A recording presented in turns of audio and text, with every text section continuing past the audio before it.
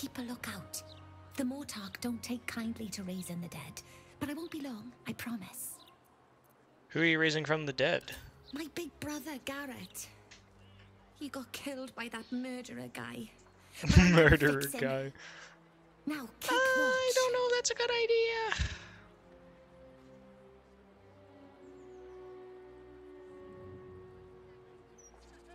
Exorde frater meum. Immorte ad me redigo eo.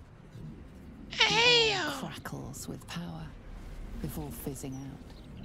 The child has power but lacks control. Oh, you're close, Myrkul.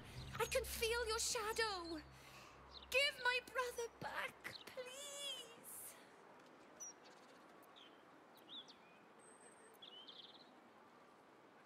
You need to focus your power. Make it a sharpened point, like the tip of an arrow. I don't know if my advice will be. Oh, my advice will be that good. Like this. I don't know if I should be telling a child how to.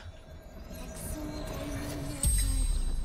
I think she sounds Welsh. I to kill these accents like a test of the UK. Immorte ad me It's crazy how many accents you guys actually have, though.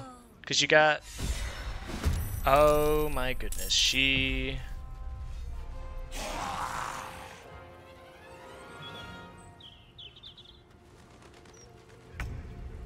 Where's this other person? I ruined it. I ruined everything. I mean, yeah, you did kinda. Where's she going? Oh my god, oh my god, where where did she go? She just speed ran. Tell me, Saya, if you leave a poisoned cake in a park and a child dies from eating said cake, are you responsible for the child's death?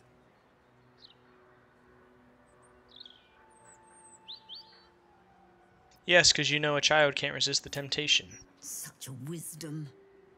Which means you do not even have the excuse of ignorance. You showed a grieving child the ways of necromancy. I didn't think she was gonna do necromancy. I thought she was gonna like talk to him. May Kelemvor have mercy on your soul. It was a mistake. I was just trying to help her talk to her bro. I was trying to do good.